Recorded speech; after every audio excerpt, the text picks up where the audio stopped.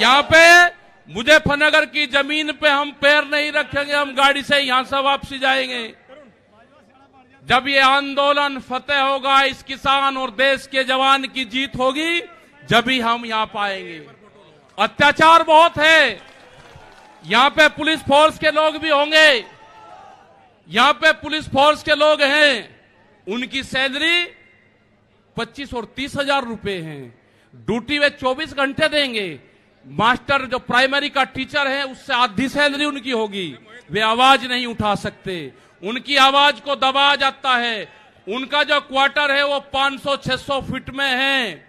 उनके क्वार्टर बड़े बड़े उनकी सैलरी भी टीचर के बराबर उनकी सैलरी हो। वे ड्यूटी देते हैं 24 घंटे। जितने भी सरकारी कर्मचारी हैं, उनकी पेंशन खत्म करोगे। एमपी एमएलए की पेंशन लोगे दो दो तीन तीन। कर्मचारियों की पेंशन खत्म करोगे। आप देश में प्राइवेटेशन करोगे तो रोज़गार खत्म होंगे। हमारी समझ में एक बात नहीं आई।